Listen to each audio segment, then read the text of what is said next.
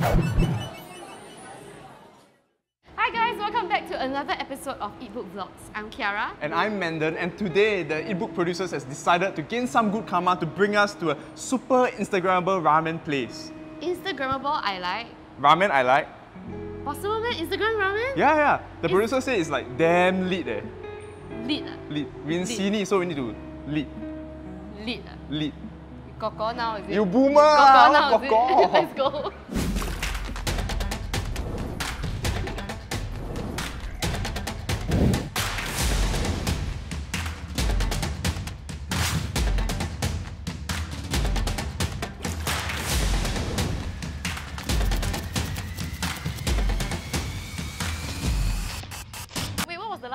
Bend yourself backward. Bend backward? Yeah. What your performances? Oh! Why so scary? This is like roller coaster. Oh!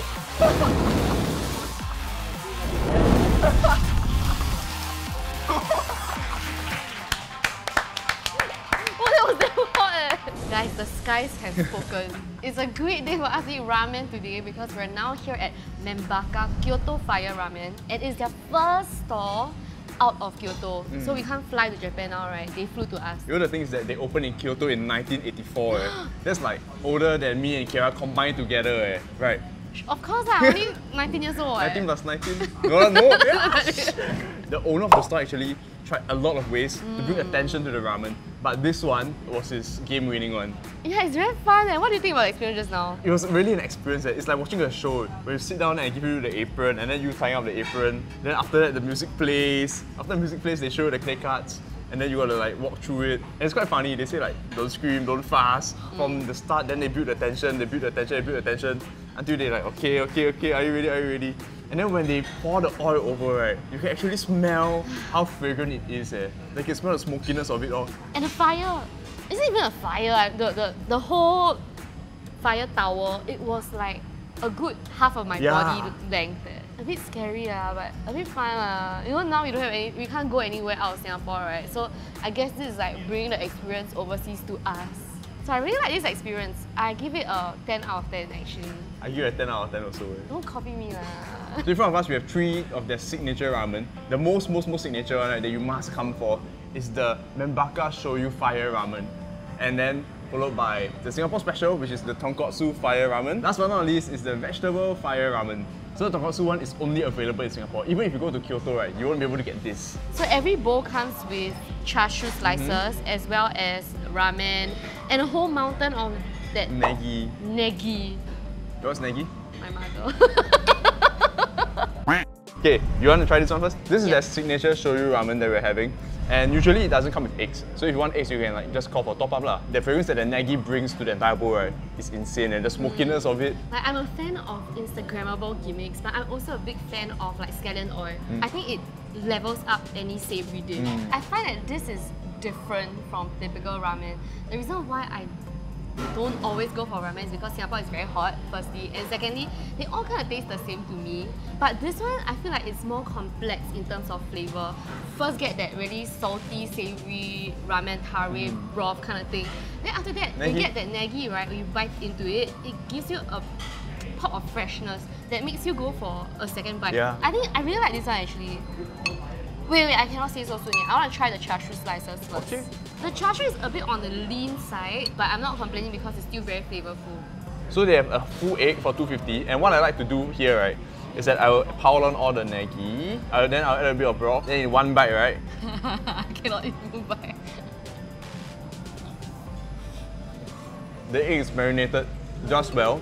They cut through the smokiness and the oiliness and the strong flavor of the broth. And I like that the egg is liquidy in the center. Before I make my final verdict, I want to try the other ramen first. Now we are going to try out the Tonkotsu Fire Ramen that is only exclusive to Singapore. Eh.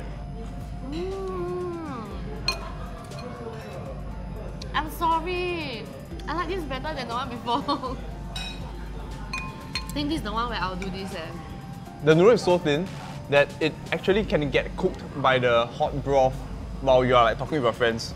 So you gotta finish this quick, okay? If you like your ramen like me a bit harder, ah, when it comes, just eat straight away. Then you talk to your friends. Over, I tell you what you talk to your friends over later, okay? Huh? What do you mean? They got this very special I, I don't spoil for you. The tonkotsu broth in itself is very medium bodied.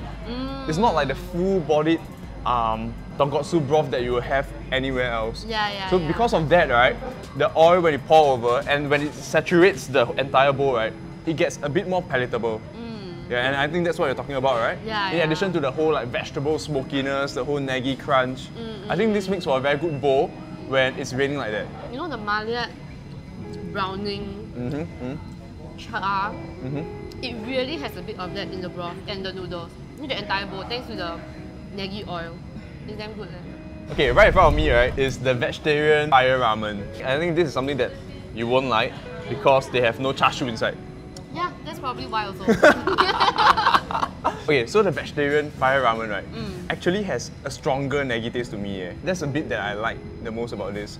But out of these three, my favorite has got to be the signature shoyu fire ramen. You know the stock that they use, right? They use two kinds of bonito and chicken. So it's something that's very unique. You have to try the signature shoyu fire ramen.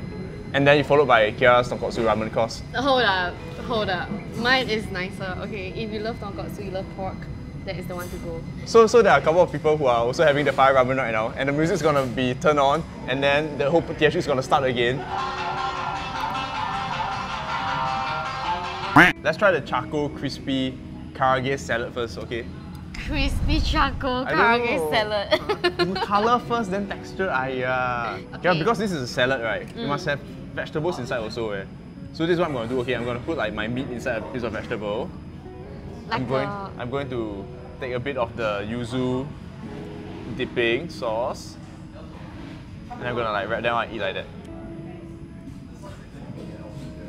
It's the airy, airy kind of batter as compared to the crispy one that you will have on like any other fried chicken. Hmm. And I think being a person who doesn't like that heaty food, right? Hmm. This doesn't feel heaty to me at all.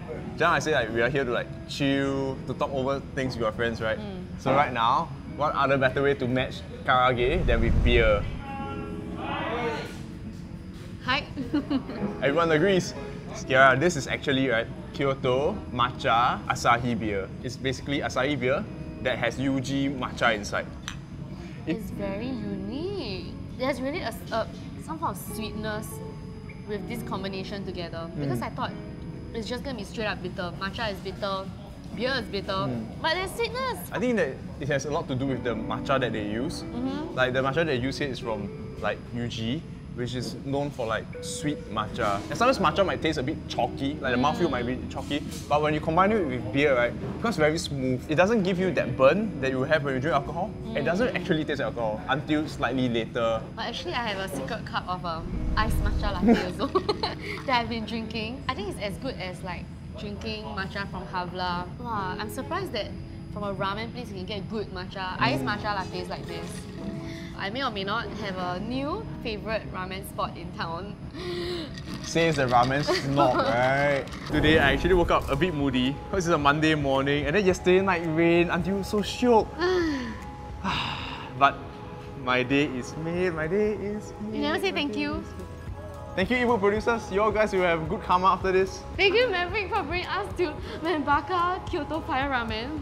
I feel like I really had a good time. Mm-hmm. No, I like there's a mean- there's a physical aspect of it. Which is right? what? You sitting in front of the of the stool and then Why so scary? This like roller coaster. the fire coming down and you feeling the heat like this close to your face. yeah. It's, Yo, that thrill, right? It's just now you were saying like it felt like a what roller coaster, Yeah. right? and then you had mm-hmm. food, which is like another kind of experience, right? So yo, today really like It's day good, is it's good. made. I know, I know. Some people hate gimmicky stuff like Sufon and you. I love gimmicky stuff, but I love it when they are legit good. Like gimmicky from the fire, but the ramen still tastes really good. This will be one of my favorite ramen spots in town already. Eh. Like even no, like even though there are like so many ramen stalls in Somerset, right? Mm. I think this is one place that I will definitely bring my friends to. Especially with the karage and the beer, like I, I think everyone should try the Uji matcha beer once in their life. So next time, Chiara, if you have a boyfriend, right, I think this is a very good place to bring him to, like especially if he likes ramen and he likes beer. What are you talking about? I'm already married to Eatbook. I renounce it. So thank you for watching this episode of Eatbook Vlogs. If you like this video, you can watch more of our videos over there. and don't forget to like, share, and subscribe. I'm gonna eat more. I'm gonna eat another bowl. I'll It's see a you. great day to eat